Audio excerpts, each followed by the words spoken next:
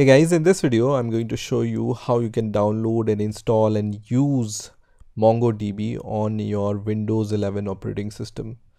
So let's get started and let's see how we can do it.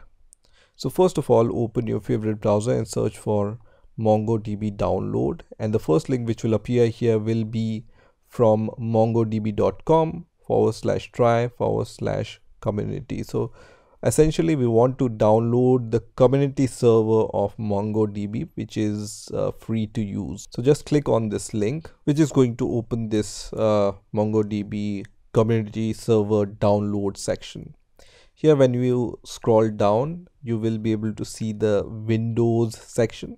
So just select the latest version of uh, MongoDB. At the time of making this video, 6.0.5 is the latest version. If you want to install the previous versions, uh, you can select those versions from here also, right? Then you can select the platform, which is Windows for us, and the package, which is MSI uh, for us. You can also download the zip file, but I'm going to download the MSI file, which is easier to install and then click on download button which is going to start the download of this uh, mongodb windows.msi file. So once this msi file is downloaded i'm going to click on this msi file and let me minimize my browser. And you can see the installer is starting. So now i can see this uh, mongodb setup wizard has been started. So just click on next here and then accept license terms and conditions and click on next so here you can see the setup type. So i will recommend you to select the complete uh, button here. And it says all program features will be installed requires the most disk space and recommended for most users. Now it also says the mongo shell must be installed separately for windows installations and there is this link given here. So i can click on this download now button for mongo shell. Mongo shell is essentially a mongo client which will allow you to uh, interact with your mongodb uh, server right? So right now we are installing the mongodb server but if you want to install the mongodb shell then you need to click on this download button and once you click on the download mongo shell uh, link you will be able to see in your browser this link will open. Uh, we can download this mongo shell later but first let's complete the installation of mongo community server and then we can also install mongo shell uh, later right? Here i'm going to click on complete button and then i can see the server configuration you can see install mongodb as a service which is checked which is okay which means that as soon as your windows operating system starts mongodb uh, is going to run as a service on your windows operating system. So you don't need to worry about anything. Just leave everything as default which is run service as network service user. These are the location of your data and the log folder. In the data folder all your data in your mongodb will be saved and in the logs folder all the logs related to your mongodb servers will be saved. Just click on next here and then you can see install mongodb compass.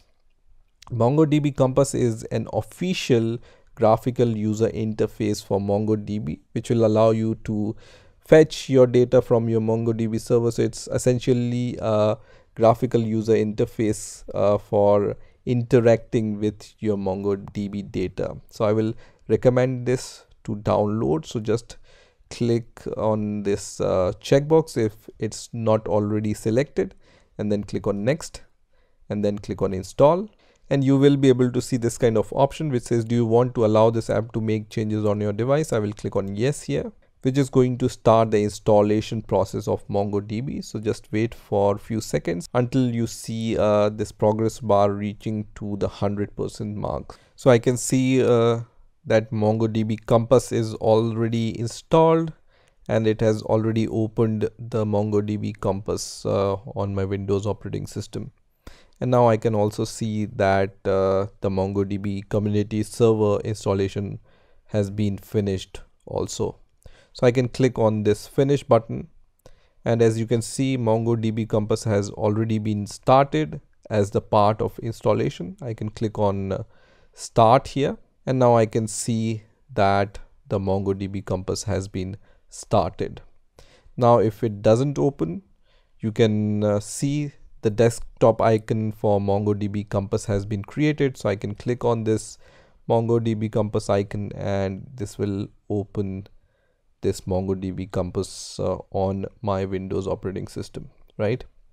So as I already mentioned, MongoDB Compass is a graphical user interface which acts like a client for your MongoDB server. So for connecting to your default MongoDB server database, you can use this default URL which is mongodb colon forward slash forward slash localhost colon 27017 this is the default port okay?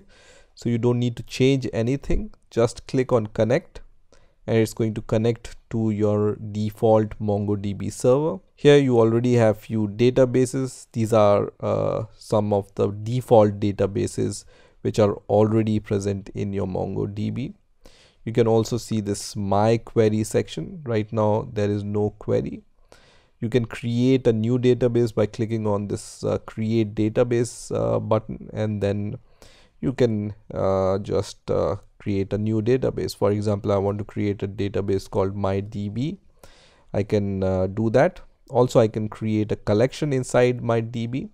So I can uh, name my collection anything. I am going to name my collection as for example orders right and then I can click on uh, create database. Since MongoDB 5 there is an option to create the time series database also. But for now I just want to create a normal collection.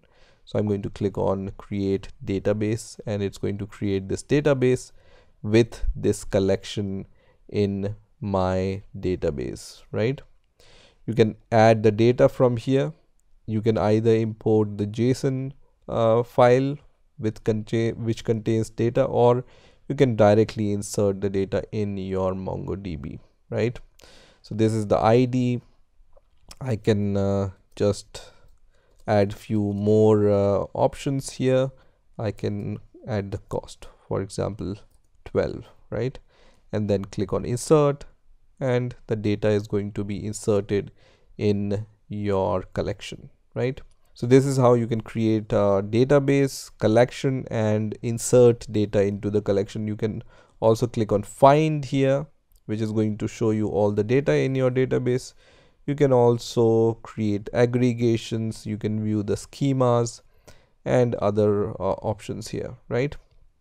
Now as i mentioned if you want to use a command line uh, tool to interact with your MongoDB, if I open command prompt in uh, Windows operating system by just searching for uh, CMD and when it opens command prompt and when I write Mongo here, you can see Mongo is not recognized as an internal or external command, right? also when I go to uh, my C directory where MongoDB is installed and then go to program files here I will be able to see MongoDB folder. And here only the server is there right? So here I can see the MongoDB server but I don't see Mongo shell.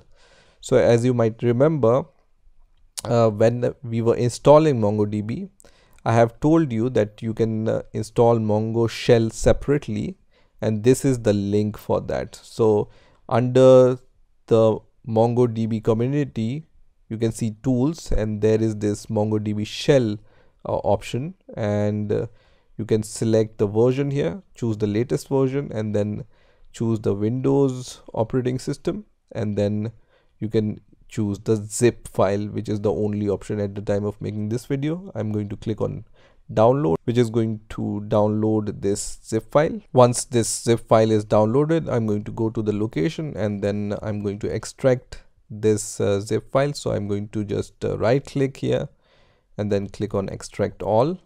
And I'm going to extract this uh, Mongo shell zip file in my C directory and then program files. And then I'm going to select the MongoDB right and uh, inside MongoDB I'm going to extract this uh, uh, zip file. So I'm going to just click on uh, select folder.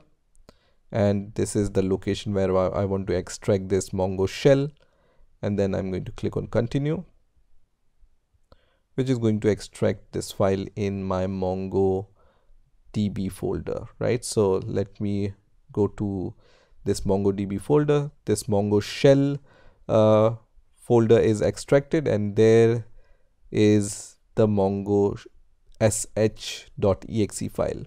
Just copy the path of this bin file and then click on search and then uh, search for edit environment variables right? So you will be able to see this option which is called edit the system environment variable or you can directly uh, search for this option right? Edit the system environment variable click on this option and then uh, click on environment variable. And then under system variable you will see this path variable. Click on edit and then click on new and then paste the path of your mongo sh bin directory which we have copied right?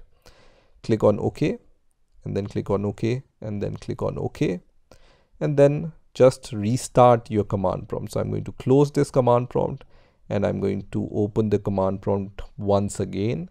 And this time i'm going to just write mongo sh and then press enter. And it's going to work this time. So mongo shell is going to work this time. And you can see we are inside the mongo shell right it has connected to our default uh, mongodb database which is running on localhost. And here we can run the command line uh, to fetch the database or create some collection. So i can write show dbs here and it's going to show all the dbs I can create a new database by using use and then the name of the database. I can name my database as, for example, code bind, for example, right? And then click on uh, enter and it's going to switch to the uh, code bind database. When I once again uh, choose show DBs, is going to uh, show other databases but it's not going to show the CodeBind database which I have created because in order to uh, view the database which you have created you need to insert some data into a collection right? So you need to create a collection and then insert the data into it. But mongo shell is working and then you can uh, write some other commands to interact with your mongo shell so this is how you can uh, install the latest version of MongoDB on your Windows operating system. I hope you've enjoyed this video and I will see you in the next video.